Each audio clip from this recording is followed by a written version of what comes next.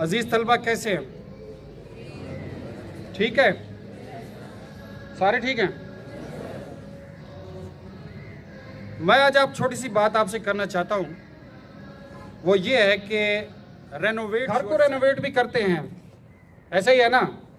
घर के दोबारा डिस्टेम्पर कराते हैं सोफे जो है उनके कवर तब्दील कराते हैं बेडशीट तब्दील करते हैं डेकोरेशन पीस लेते हैं। तो घर को डेकोरेट रेनोवेट किया जाता है।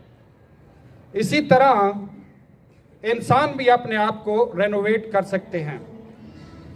हर इंसान अपने आप को रेनोवेट कर सकता है, अपने पहली हालत से दूसरी हालत बेहतर बना सकता है। समझ आ रही है? इसी तरह हर इंसान के पास अल्लाह पाक ने कैपेसिटी रखी है। बाकी मखलूक़ात में शायद नहीं है। बाकी मखलूक भी वैसे एक वक्त आता है कि परिंदे नए पुराने पर जो है, वो फेंक देते हैं और नए पर जो है, उनके उगाते हैं।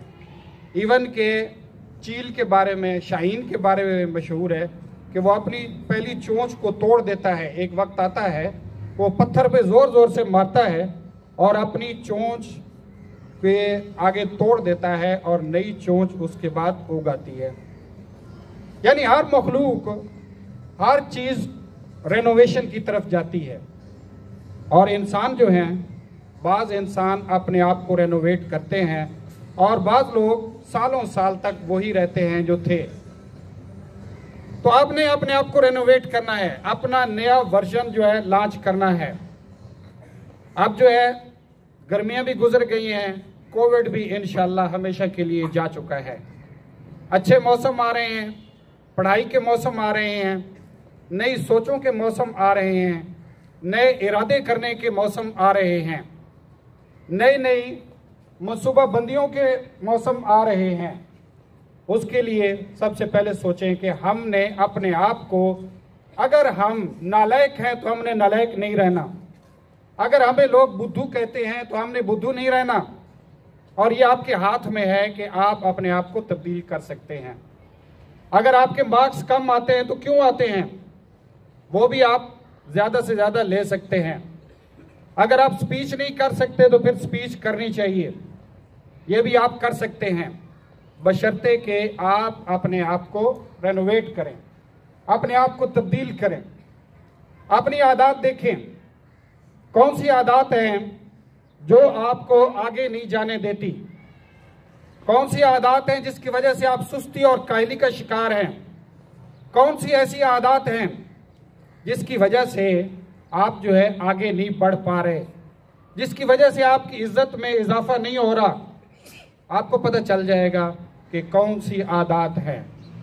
अगर आप कहें कि रात को बैठ के सारी रात मैंने पबजी खेलनी है और फिर मैंने अच्छा परफॉर्म करना है तो अपने आप को शड़प काल दें। ऐसा नहीं हो सकता। अगर आपने वक्त ज़ाया करना है, अपने काम पे तवज्जो नहीं देनी तो फिर ये बुरी आदत है आपकी। अगर आप अच्छा सोचते नहीं हैं, अपने साथियों के बारे में बुरा सोचते हैं तो ये बुरी आदत है आपकी। अगर आप वालदेन को रिस्पेक्ट नहीं देते तो ये भी बुरी आदत है आपकी। ये सारी बुरी आदत पे क्रॉस लगाएँ और नई और अच्छी आदत को अडॉप्ट करें। नई और अच्छी आदत वो, जिससे आपकी इज़्ज़त में इजाफा हो। आप अच्छा सोचना शुरू कर दें। अपनी मंजिल का तयन करें। अपनी सारी एनर्जीज को इकट्ठा करके अपनी सही डायरेक्शन में लगाएँ। अल्लाह ने आपको बड़ी एनर्जीज दी हुई हैं। उन एनर्जीज को आप यकजा करके अपनी सही डायरेक्शन में लगाने का सोचें। बुरी आदत को ख़त्म कर दें। हमेशा अपने दूसरे साथियों को रिस्पेक्ट दें। जो क्लास में पढ़ाया जा रहा है, सौ फ़ीसद कंसंट्रेशन से सुने और हर चीज़ को वहीं पे समझ लें। जो समझ नहीं आती टीचर से पूछ लो। ये भी एक अच्छी आदत है। जो कहा गया है, कर गुजरो, मत डरो। आपको प्रेजेंटेशन देनी है तो खड़े हो जाओ और बोलो। ये भी अच्छी आदत है। अपनी अच्छी आदत का अहाता करें। या आप खुद एनालिसिस कर सकते हैं कि आपके दरमियान बहुत ही अच्छे एग्जाम्पलरी स्टूडेंट मौजूद हैं। उनकी आदात का जायजा लें कि यार वो कैसे बोलते हैं? कैसे बातें करते हैं? क्या करते हैं? कैसे स्टडी करते हैं? तो अच्छी आदात को ले आए तो आप रेनोवेट हो जाएँगे। बुरी आदात को ख़त्म कर दें। अच्छी आदात को ले आए तो अपने आप को रेनोवेट कर दें। जैसे मैंने कहा है कि घर पुरानी बेड शीट्स को उठा के आपने बाहर फेंक दिया, नए डिस्टेम्पर कराया, अपने आप को इसी तरह पुरानी चीज़ों से निजात हासिल करें, पुरानी आदात से, बुरी आदात से निजात हासिल करें और नई चीज़ों को अडाप्ट करें। जो लोग रेनोवेट नहीं होते, जो लोग रेनोवेट नहीं होते, वो दस साल के बाद भी उधर ही खड़े होते हैं। वो आज भी नालायक होते हैं, दस साल के बाद भी नालायक होते हैं। वो प्रैक्टिकल लाइफ में जाते हैं तो वहाँ भी नालायक होते हैं। यार, नालायक नहीं रहना, लायक बनना है। क्योंकि आपको इज़्ज़त चाहिए, आपको मकाम चाहिए, वो इन्हीं चीज़ों से हासिल होगा। अगर आप ब्रेक लगा के खड़े हैं कि नहीं, मैंने कोई हिलना ही नहीं है यहाँ से तो फिर शायद कोई नहीं हिला सकता। हिलने के लिए आपको खुद हिलना पड़ेगा। ऑर्गेनाइजेशन की मैं अगर मिसाल दूँ तो कुछ अर्सा पहले 10-15 साल पहले 15 साल शायद ज़्यादा नोकिया एक मोबाइल कंपनी थी, आपने नहीं देखा, हमने देखा है। नोकिया कंपनी थी, उसका मोबाइल था, और इट वाज मार्केट लीडर हर बंदे के हाथ में नोकिया होता था, और जिसके हाथ में नोकिया नहीं होता था, वो समझता है कि सब स्टैंडर्ड मोबाइल मैंने उठाया हुआ है। तो नोकिया एक ब्रांड था, एक पहचान थी। लेकिन पाँच सात साल पहले या शायद ज़्यादा मुझे एग्जैक्टली याद नहीं है नोकिया उसने माइक्रोसॉफ्ट को बेच दिया। क्यों बेच दिया? नोकिया फेल हो गया। और जिस दिन वो बेच रहा था ना खुदा की कसम उसकी वीडियो देखें तो वो बंदा धाड़े मार के रो रहा था कि ये नोकिया मुझे बहुत प्यारा था।